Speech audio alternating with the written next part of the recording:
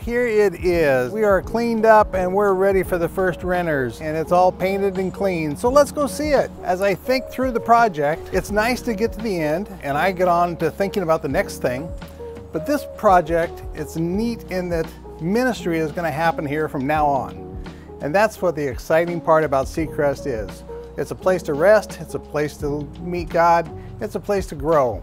We just walked into the lodge and you can remember back in uh, February when all the contractor tools were here. We had boards everywhere. Now it's clean again. For those that have many memories, you know this room. The new furniture should be arriving shortly. You know, I've said it every time, the ocean view. God makes it perfect every day. And we've had the opportunity for the last five months to watch. Even in the storms, that ocean is beautiful. Thank you, the Lord. We used to have glass doors, an outside porch. Now we have two new bathrooms, and we got the other one with the bathtub. And of course, then we have the door that goes out on the deck. Just like at home, we have uh, many projects that can continue.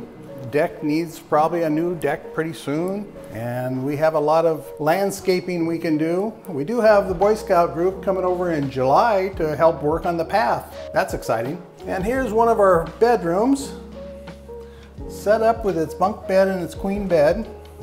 And it has its bench and hangers for hanging your clothes on. This is the smallest room we have. The rest of them are a little bigger. These are all pretty much the same. You can see we have the mirrors all up, the showers are all in, the rain heads are on. It looks great.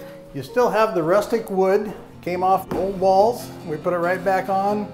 Our exit lights are in. It's a new lodge. And for a lot of us, here's the puzzles, here's the games. We have to remember all the volunteers that were here. It's been uh, just an exciting time. When I think of SeaKrest, I realize it's a gift from God. Go back into the 60s when those individuals helped us catch the vision for what can happen when we buy this retreat center. But actually, it's a tool of God, a gift that becomes a tool that He's entrusted to us as a church. Countless people will give their lives to Christ at this retreat center. Multitudes more will make significant decisions. Families will be connected. Disciples will be made. Relationships strengthened.